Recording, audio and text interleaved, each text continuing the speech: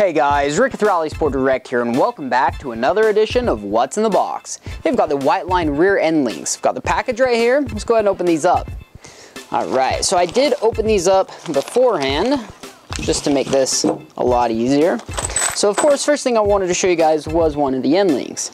Now, this is going to look a little bit different than most of the end links uh, that you've seen or that you see on our site. And the reason is, is of course we've got this metal bar and it's bent around two end links. Now this is an extremely simple way um, of making an end link and you can see Whiteline's done a really good job of that and just to give you an idea of how the bushing is set in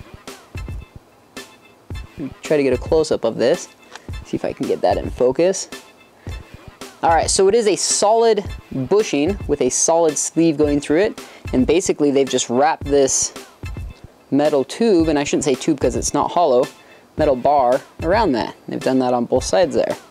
So what this allows for is it still allows for the articulation, and obviously I can't really do that by hand, uh, but allows for the uh, end link to kind of move, you know, I don't know, at an angle on that bushing, uh, and that is the natural movement of the sway bar. Uh, it's never going to be perfectly up and down. You're always going to get a little bit of movement, and so you can see that they do allow for that by having these grooves uh, in the bushing itself. All right, so, it does come with two end links. Of course, they are identical.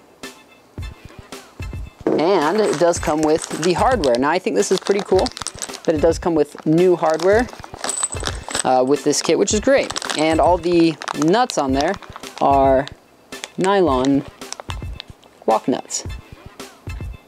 Right there. So really just high quality components that are included in this kit. And of course you get the Whiteline sticker and instructions. Now in the instructions, uh, looks like they kind of show you how to install them. Not really, it really just shows them installed. Um, but by looking at the instructions, it should give you a pretty idea, a pretty good idea of how to install these on your car. And definitely read through these instructions. It's only, you know, a page, so it shouldn't be too long. So these are going to be great uh, whether you've broken your stock end links or you're looking for an upgrade with some polyurethane bushing. So these are going to be uh, much higher performance than your stock end links for sure. It's a great product. Check it out. That's all the time we've got for tonight, guys. Thanks for checking out What's in the Box. We'll see you next time.